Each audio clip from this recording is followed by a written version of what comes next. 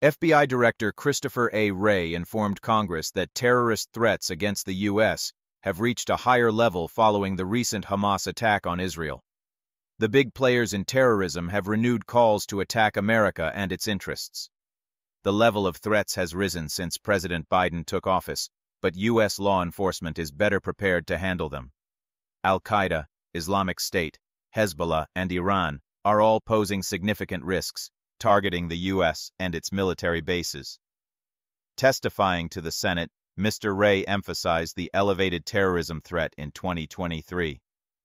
The greatest threat to the U.S. homeland is lone actors or small cells of radicalized individuals using easily accessible weapons to target soft locations. Recent intelligence indicates an elevated concern regarding Middle East-based threats. Although groups like Al-Qaeda have reduced operational capacity, they are seeking opportunities to rebuild and recruit, leveraging the Hamas attack on Israel.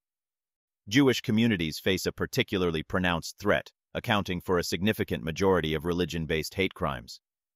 Attacks against Muslims are relatively fewer in number.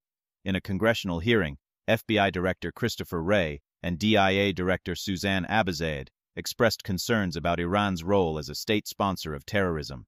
They highlighted Iran's attempts to assassinate high-profile figures, interfere in the 2020 election, and conduct cyber attacks. Both officials urged Congress to renew surveillance powers under Section 702 to enhance national security. However, some lawmakers, including Senator Rand Paul, voiced concerns about potential misuse of these powers to surveil American citizens.